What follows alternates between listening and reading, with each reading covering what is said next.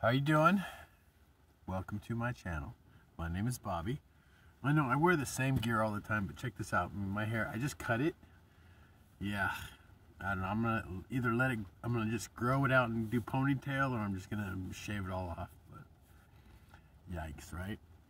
And I did this with just a little tiny trimmer. I was like, yeah. Anyway, long story short, this video is gonna be simple. it's gonna be about children, and they used to have orphanages and places like that for children to go when their parents were passed away or their parents are suffering from like drug addictions or whatever.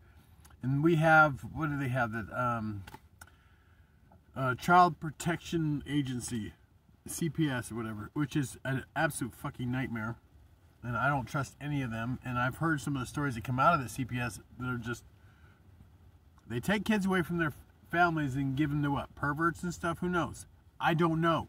These children are vulnerable because you, they're not only have the parents that they've that they're supposed to be protecting them and keeping these kids safe are losing their shit and doing stupid shit and just ignoring the fact that those child should be go coming first before their own addictions and their crap and their humping their boyfriends or whatever or getting their nails done. These children come first and people are slipping hard.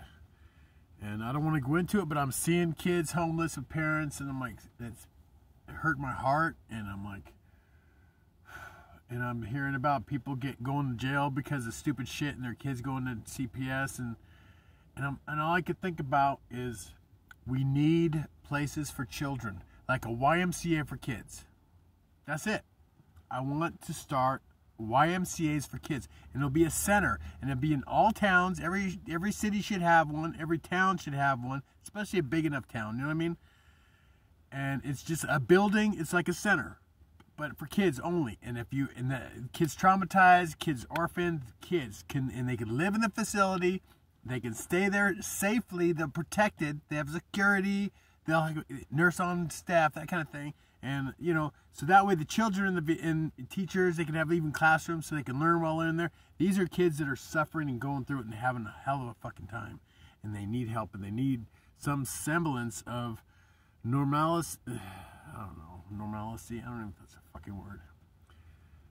Look i grew up in chaos. I grew up with parents that were divorced and my mom was doing just whatever and anything it was the 70s so I was a wild child, so I was dealing with a lot of shit, and that was pretty normal for a lot of kids. But it's not normal, and it wasn't, and it wasn't a safe environment for me. And I was always in an unsafe. I was always having to be on my toes as a kid because you didn't know who was around you. It was just you know that kind of thing. So I understand what that's like. And I just, I mean, when it comes to children, man, that's it's one thing for adults to be just destroying themselves and to be, and it hurts my heart enough because they don't love themselves. But kids, man, you got, you can't you can't. They're they're they're innocent. They're I don't even know where to begin. Right? It's, it's a whole new.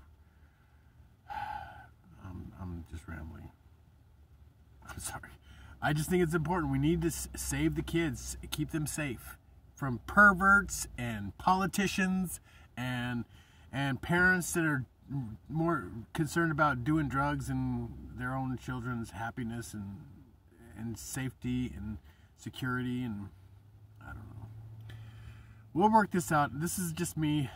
This is just a footnote for me later on, maybe when I meet Elon Musk and we we ramble about some stuff and I got ideas and like yeah, YMCA's for kids, orphaned and kids going through. So so CPS when they have to take kids away from if cops have to show up and take kids somewhere parents die in an accident, whatever, anything like that, and they don't have anybody, these are centers they can go to. And it's a safe space.